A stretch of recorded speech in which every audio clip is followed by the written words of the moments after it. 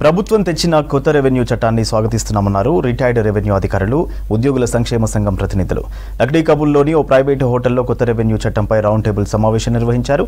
ప్రభుత్వం తెచ్చిన కొత్త రెవెన్యూ చట్టాన్ని పూర్తిగా అధ్యయనం చేసి ప్రభుత్వానికి పలు సూచనలు సలహాలు చేస్తామన్నారు. ఒక కొత్త చట్టాన్ని తీసుకొచ్చి అందరికీ కూడా ముఖ్యంగా రైతులకు అందరికీ కూడా ఎటువంటి ఇబ్బందులు లేకుండా ధరణిలో జరిగినటువంటి లోపాలని సవరించి ఒక సమగ్రమైనటువంటి చట్టాన్ని తీసుకురావడానికి కోసం ఒక డ్రాఫ్ట్ బిల్లుని తయారు చేసి ప్రజలందరి ముందు కూడా ఉంచడం జరిగింది.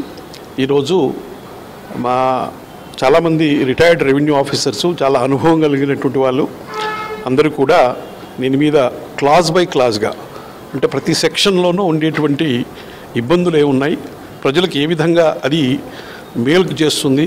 ఏ అంశాలు మేలు చేసే బదులుగా కష్టాలని వచ్చేటువంటి అంశాలు ఏమున్నాయి అనేటువంటిది కూలంకషంగా చర్చించి అన్నీ కూడా ఈ యొక్క చట్టం సమగ్రంగా అందరికీ ఉపయోగపడేట్టుగా ఎక్కువగా ఇబ్బందులు లేనటువంటి విధంగా తయారు చేయాలనేటువంటి ఒక సదుద్దేశంతో ఈ యొక్క రెవెన్యూ ఆఫీసర్స్ మేము అందరం కూడా కూర్చుని దీన్ని చర్చించి ఏది ఆమోదయోగ్యము ఏది అభిలషణీయం అనేటువంటి విషయాల్లో చూసి ఒక రిపోర్టుని మేము ప్రభుత్వానికి సమర్పించదలుచుకున్నాం. ఆర్ఓఆర్ కింద ఎలా ఉంటే బాగుంటుంది అన్న విషయాన్ని మేమంతా రిటైర్డ్ ఆఫీసర్స్ సంఘం తరఫున ఇవాళ సమావేశం చేసుకున్నాం. దీంట్లో అనేక విషయాలు మేము చర్చకు తీసుకున్నాం. ఏది ఉంటే బాగుంటుంది ఏది తీసేయాలి అనేది కూడా కొన్ని సమస్యలు చర్చలు వచ్చినాయి. వాటిని కూడా మేము one by one act one నుంచి వెళ్ళి ఏదైతే స్టార్ట్ చేసిందో దీంట్లో వాటన్నిటిని మేము చర్చలోనే ఉన్నాం ఇంకా. ఇంకా ఫైనల్కి రాలేదు.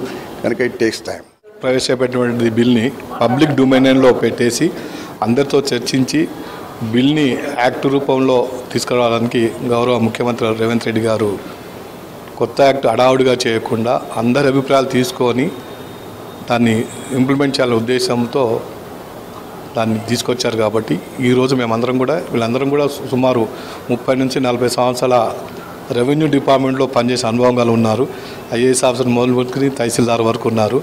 అందులో గతంలో నిజాం పీరియడ్ తర్వాత హైదరాబాద్ స్టేట్ నుంచి ఆంధ్రప్రదేశ్ తెలంగాణ వరకు పనిచేసేటువంటి ఎనభై సంవత్సరాల వయసు ఉన్నటువంటి శ్రీను శ్రీనివాసరావు గారు కూడా ఉన్నారు.